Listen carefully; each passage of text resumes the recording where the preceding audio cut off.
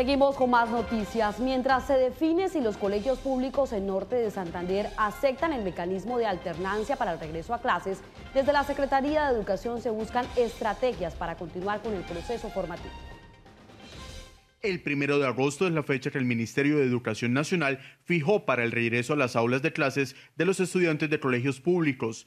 Mientras llega ese día, la Secretaría de Educación en Norte de Santander analiza esta medida para evitar traumatismos. Precisamente estamos hablando con los rectores, con uno a uno de estos rectores y nos están manifestando la dificultad que tienen en el tema de agua.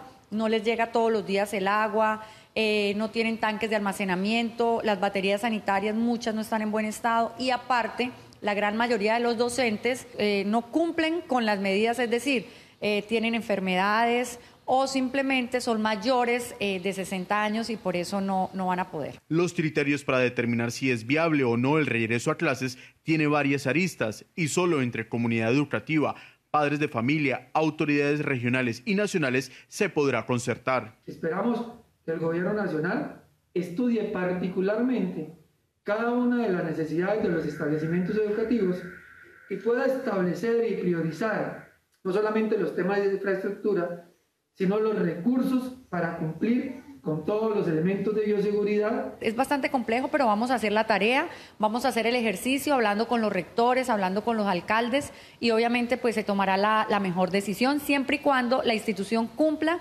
con todo el protocolo de bioseguridad. La medida seguirá siendo analizada como lo ha hecho la Secretaría de Educación, que ya ha sostenido varias reuniones virtuales con alcaldes y rectores de instituciones públicas en todos los municipios del departamento.